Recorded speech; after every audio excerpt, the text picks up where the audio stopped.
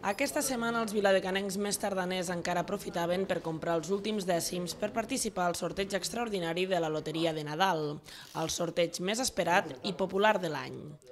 Tot i les cues, en aquesta administració del casc antic asseguren que aquest any la crisi ha frenat la participació. Calculen que es vendrà un 5% menys de loteria que l'any passat.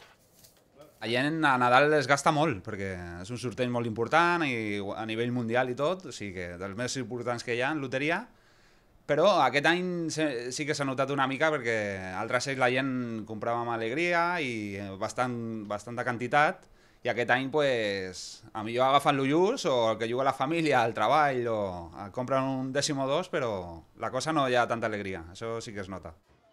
Tot i que tots els números són al bombo, els viladecanencs tenen molt clar quin és el seu número de la sort. Pues mira, juego este porque es de la casa antiguo de Oceidas. Llevamos muchos años jugándolo y sigue conociéndose como el número de Oceidas después de cinco años sin el bar. La data del Mundial, pues, sobretot per aquest han preguntat bastant. I després, eh, sobretot les dates de naixement, que en terminació 09, 010, de nens que, que han nascut ara fa poc, això ho busquen molt. I si no, també pues, les terminacions de sempre, el 13 o el 5, el 7, són els que més es demanen sempre. Sobretot el 13, és el que més busquen sempre. Demà a les 9 del matí començarà el sorteig de la Loteria de Nadal, un sorteig carregat de premis i que repartirà més de 2.320 milions d'euros i que arriba amb novetats. Estrena seu de cerimònies i neix la possibilitat de cobrar els premis més grans el dia següent.